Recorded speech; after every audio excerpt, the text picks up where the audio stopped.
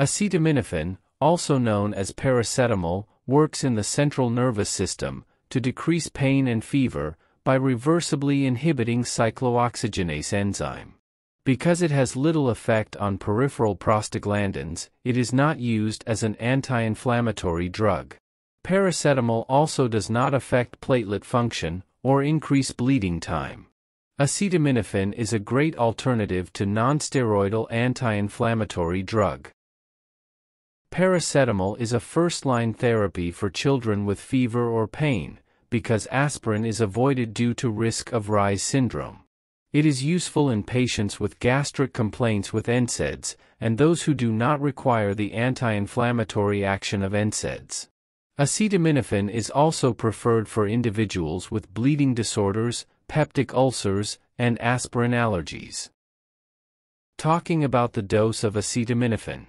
It is used at a dose of 325 mg to 650 mg, 3 to 5 times a day, and the total adult dose of paracetamol per day is restricted to 2,600 mg.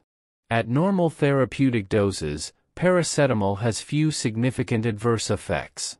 With large doses of paracetamol, the available glutathione in the liver becomes depleted, which can lead to hepatic necrosis. N-acetylcysteine is an antidote in cases of overdose. Paracetamol has a boxed warning for hepatotoxicity, which can lead to liver failure.